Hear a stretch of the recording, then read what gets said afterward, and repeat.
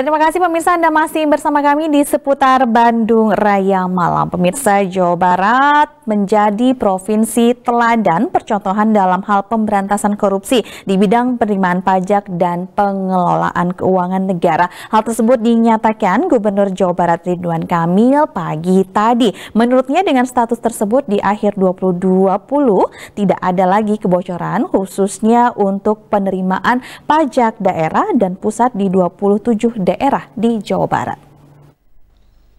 Ditemui usai rapat dengan KPK, staf kepresidenan, perwakilan Kementerian Keuangan dan Dirijen Pajak Selasa pagi, Gubernur Jawa Barat Ridwan Kamil menyatakan, Jawa Barat menjadi provinsi percontohan dalam hal pemberantasan korupsi di bidang penerimaan pajak dan pengelolaan keuangan negara.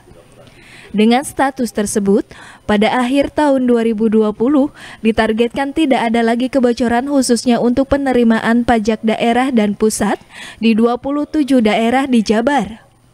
Jabar dijadikan percontohan karena ASN-nya sudah mempunyai satu kartu yang di dalamnya ada NPWP dan lain-lain, sehingga semua pengeluaran dan pemasukan tercatat uh, terbagi dua, dua grup nanti semester 1 2020 14 daerah, semester 2 nya 13 daerah dan mudah-mudahan. Nah kita dijadikan contoh karena kita sudah duluan.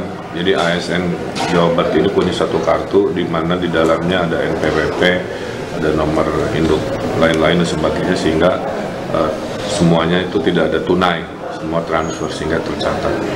Uh, mudah-mudahan jadi percontohan semua. Berapa Pak?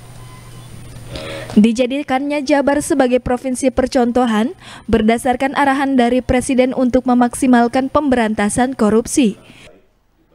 Budi Hartati, Bandung TV